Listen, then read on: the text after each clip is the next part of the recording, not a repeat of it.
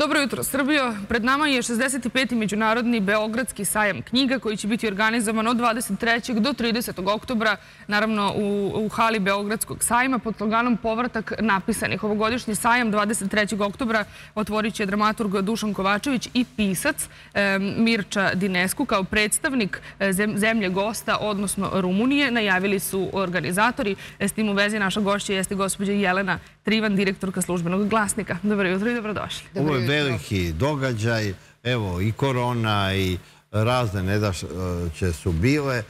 Sajam knjiga je opstao i 90-ih i vreme ratova i sankcija i ljudi su dolazili iz Zagreba, iz e, Sarajeva. Niko nije napravio, bilo je raznih sajmova u regionu, niko nije napravio e, kao sajam u Beogradu mi u Srbiji koji smo navikli na stalnu neizvesnost, imali smo svih ovih decenija jednu izvesnost da će u poslednjoj nedelji oktobra biti sajam. I onda nas je samo korona prevarila da čak ni to nije, nije, nije da. sigurno. Pa evo, već dve godine ne, nismo imali sajam. Međutim, ja moram da vam kažem svoje iskustvo za sve ove godine. E, čak i pravna literatura, pošto je drugačija pravna praksa i zakoni, je nešto zbog čega ljudi dolaze iz regiona, iz Bosne, iz Hrvatske, da ovo kupuju beletristici da ne pričamo. I svi pokušaju da Zagreb, Sarajevo, Podgorica naprave sajam, nisu mogli da zamene činjenicu da Beogradski sajam najvažniji sajam posle Frankfurtskog. I nažalost nekako samo mi nismo bili svesni toga. Koliko veliku kulturni, e, ovaj, e, kulturni događaj imamo na mapi svetskoj, ali smo u prethodne dve godine kada ga nije bilo to shvatili. Da. On je veliki turistički, kulturni, svakakav događaj. Tako da ja vidim po izdavačima iz celog sveta kakav je odziv i kako jedva čekaju jedva čekaju da dođu i da budu naši gosti. Upravo je poslednja nedelja oktobra neformalno i jeste poznata kao praznik knjige. Sajam knjiga svake godine ugosti e, najznačajnije i domaće, ali i brojne inostrane i pisce, ali i izdavače koji predstavljaju e, i svoja stara izdanja, ali i naravno aktuelnu produkciju. Vi sad tu imate dve nekakve, kako bih rekla, to Marić bolje zna, ovaj, jer je veliki bibliofil, dve, e, dve vrste izdavača. Jedni koji nemaju svoje knjižare i tu dolaze da prodaju svoje izdanja i za njih je nekako taj sajam pre svega prodajno mesto i veliki izdavača koji tu dolaze da predstave svoju, svoju novu produkciju i da se susretnu sa stranim izdavačima i, i nađu svoje partnere u svetu. Tako da je to mnogo više od nekakvog velikog, velikog prodajnog mesta. U Frankfurtu se ne prodaju knjige, e, tamo se samo pokazuje... Sklapaju ugovori, da. tako je. Međutim, imamo i taj prodajni deo i imamo onaj četvrtak čuveni koji je školski dan, Hoće ove godine autobusi doći iz da. cele Srbije. Ja se iskreno nadam, vidim da postoje... Mnogi prvi put u Beograd dođu deca... Zbog sajma knjige. Nažalost, bude divno je. Bude i to, često uzmu i ovaj, nekako uvredljivo govore o tome, pa otišli su u tržni centar, povodili su ih profesori, sram ih bilo. Pa zašto da ne? Ako će oni zapamtiti taj dan po nekoliko lepih stvari, neće tu pokvariti njihov susret sa knjigama. Ali mislim da i mi izdavači tu, ovim novim generacijama kojima je dosadno da čitaju, koji ne vole da čitaju, mislim, moramo da ponudimo nekako drugačiji pristup. A ne da oni dođu, oni se jadna deca motaju po tim štandovima, ovaj, ne znajući šta tu zapravo treba da traže. Mi za taj dan imat ćemo neke radionice interaktivne u kojima će oni moći da učestvuju, da rešavaju konflikte između sebe, povodom neke knjige koje smo izdali Milan Vesni, jedna kuća besna i koji pokazuje korak po korak kako brat i sestra da prevaziđu svoje svađe. Ideja nam je da deca koje tu svrate nauče kako da, da konflikte sa ocem, majkom, profesorom, drugarom rešavaju na jedan normalan način kako ne bismo gajili neke nasilne generacije. Međutim, e, kada bi više toga bilo, verovatno bi oni, njima bilo jasnije šta rade tu na sajmu, jer oni nisu kupci knjiga. Nisu neko ko razume izdavaštvo. Oni su tu deca koji se prvi put susreću sa knjigama. Mislim i da, da veliki broj... A to je ta nova generacija na kojima će te knjiga ostati. Da. Jer e, na, ih ne negujete... na bilo koji način da stupe u kontakt knjigama, to će postati njihova potreba za ceo život. Znate što je moja prva bila ovaj, moj susret sa stranim e, knjižarama i našim? Ne diraj knjige.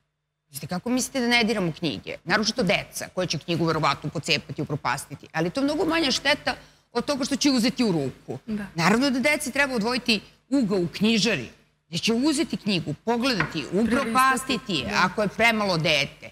Nema veze, ali će ono, neće se plašiti knjige i knjižare kao nekog svetog mesta. Da. Mislim, nije to, ovaj, kako bih vam rekla, crkva, ipak je to knjižara. Tako da, e, to je razlika koju smo, mislim, ovaj, prihvatili valjda od sveta, da ne, ne pipati knjige da. u knjižari nije baš baš normalno. Ne, a ko pipne knjigu, to je zarazno za ceo život. To je zarazno, to će vam reći Marić najbolje. To je zarazno zaista za To postaje manija. Kao... To postaje manija. Ja znam kada me on pozove, to su najneverovatnije izdanje koje on traži. Još od službenog lista. Ovaj, on naravno zna... Ne, službeni list je bio zatvoren, pa te knjige nisu bile u prodaji. Zato ja tebi tražim iz magazina neke knjige da postoje, ne postoje. Ali dobro je što takvi ljudi još uvijek postoje. Da, ali i ove godine posebnu atrakciju, kako je najavljeno, predstavlja prisutu velikog francuskog pisca Patrika Bessona, koji će predstaviti svoju novu knjigu o Novaku Đokoviću i e, rečeno je da će on napraviti promociju svoje knjige 28. oktobra. Jeste, e, s tim što mislim da spisak ovaj, novih knjiga koje će predstaviti svi izdavači će biti nevrovatno veliki.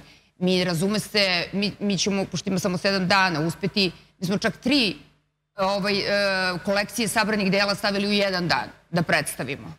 Ovaj, Kafku, e, sabrana dela u kojoj se nalaze njegovi crteži, beleški, do sad neobjavljeni tekstovi, e, dela srpskih, srpski naučnici kao pisci i prvi svetski rat u srpskoj književnosti. Mi sve ta tri barika ne stižemo. Isto smo izdali sabrana dela ni da predstavimo. Tako da E, nova knjiga o Kosovu i, i mnoga druga izdanja neće stići da budu, da budu predstavljena. Prosto sajam traje samo sedam dana kod, mislim, velikih izdavača. Tako da će samo neke velike ovako, kako bih vam rekla, atraktivne teme kao što je Novak Đoković uh, stići da privuku pažnju. Pogotovo što je Patrik Besson jako popularan u Beogradu. On je uh, kao francuski novinar i pisac došao i za vreme NATO bombardovanja i 90. kad je Beograd bio blokiran i prvi je širio neku istinu o Srbima kad je bila najveća svetska propaganda. I mi e, to njemu ne možemo nikad zaboraviti. A sa druge strane, Novak je na izvestan način ovaj, postao simbol te nekakve naše e, proganjanosti, da tako zovem, ili žrtvovanosti. Evo šta se njemu dešava. Tako da se to nekako sklapa dobro ta priča. Nije on sad više samo simbol nekakvog vrhunskog sportiste. Nego I to je Beson prepoznao. Nego nekakvih bespuća e, međunarodne politike koje se vidi i u sportu. Kao što je nekad pisao Patrik Besson o Srbima koji su proganjani, satanizovani, on je to video sada u progonima Novaka Đokovića, kome zabranjuju da igra na turnirima, e, kojima zabranjuju ulazak u pojedine e, zemlje. I ta knjiga će vjerojatno biti jako popularna i već se kupuje dosta. Ja mislim da, da će ovo biti prilika za mnoge knjige da se da ugledaju kako bih rekla, svetla zana i da se za neke stare edicije da se, da se podsjetimo. Ja se radujem što mi idemo na sajem sa knjigom sa onim rečnicima za ljubljenika i svoj francuska kolekcija koju mi izdajemo, rečnici za ljubljenika pa imaju sada u, u zvezde, u karte. Ove godine idemo sa prevodom rečnika za ljubljenika u Bibliju. Meni je to drago. A objavili ste čitavu seriju. Čitavu seriju. To je opšte obrazovno ko želi svetsku civilizaciju, on mora sve to da pročita. Mora. A pisano na popularan način. Ali meni je sad jako zanimljivo s obzirom na ove, na ove ukupne desničarske, litijaške i ovo događaje, koliko ljudi zapravo se pozivaju na veru, a joj ništa ne znaju. Pa bih pozvala, na primjer, nekada smo mi čitali Zenona Kosidovskog, biblijski regende. To je bila prečica za one koji nisu pročitali Bibliju. A mislim da ovaj rečnik za ljubljeniku Bibliju će biti baš lep priručnik za ove za ove što su ovaj, na, tumače veru na način koji nikada u Bibliji nije zapisan, da je pročitaju barem na jedan skraćen i popularan način, pošto mene to ovaj, profesionalno jako izluđuje kada danas vidim šta je sve vera i kako je sve tumače. E sad, e, službeni glasnik je e, nadomestio e, propale izdavače u Srbiji, propale su i prosvete, i Novi, i i razni izdavači. To je sad službeni glasnik. I uzeo je prosvetu, da ne zaboravimo i djecu kon, I da ne propadnu. kon, ta miska knjižara i, e, i sve te značajne knjige i srpske istorije e, i sve to izlazi pod službenim glasnikom i tu su različiti autori, e, nisu oni ideološki ni politički bliski, neki su za vlast, neki protiv vlasti, ali to je kao nekada rehabilitujemo srpsko izdavaštvo. To je tačno. Ono je zaista rehabilitovano kroz, kroz službeni glasnik, ali je ovaj rehabilitovana i nekakva vrsta regionalnih sloboda. Ono što ne može da se desi. Čak ni u Sloveniji ili Hrvatskoj, to je da su ovde Miljenko Jergović sa Basrom izdaje za nas i, i tako dalje, ali mislim da je najmitološkiji događaj bio kada je u Geci Konu bila promocija knjige o Lajbahu. Kad je Lajbah došao službeni glasnik, koga zamišljate kao neki stari ovaj, uh, dinosaurus izdavački, koji izdaje knjigu o Lajbahu. Da. Ovaj.